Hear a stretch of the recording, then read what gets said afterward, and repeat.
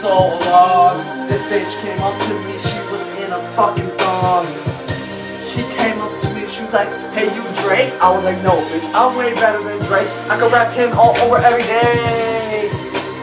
Too many people on my day. I be getting paid money every day. So many girls getting laid. It's always by me, girl. I'm fine with you.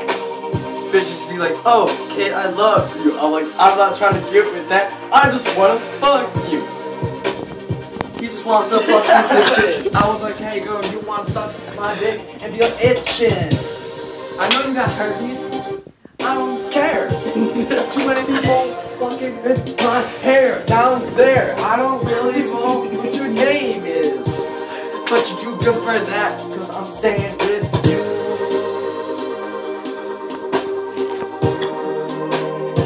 So I went to the movies tonight, and I got rented by a dyke. I was like, yo, dyke, what you trying to do, me He's like, yeah, I'm just kind of a faggot, but it's really cool if I re-ended you. We got me ended like I did this bitch when I said suspended.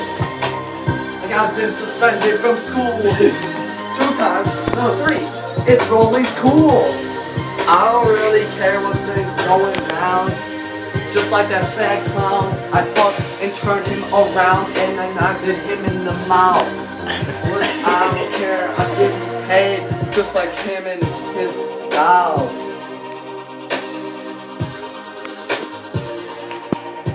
So when we were at the movies, Mitchell trying to make a move, like a chin but it was too smooth. It was too smooth. She was like, she was like, oh my god, you're so smooth. So her head just kind of exploded, and then it was really nasty because there was brain matter all over the place.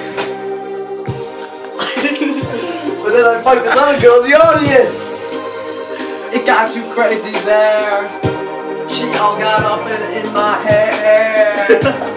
I was like, girl, you know what's up? She was like, hey, I'm a slut. And I was like, I'm okay with that. Fuck! Yeah.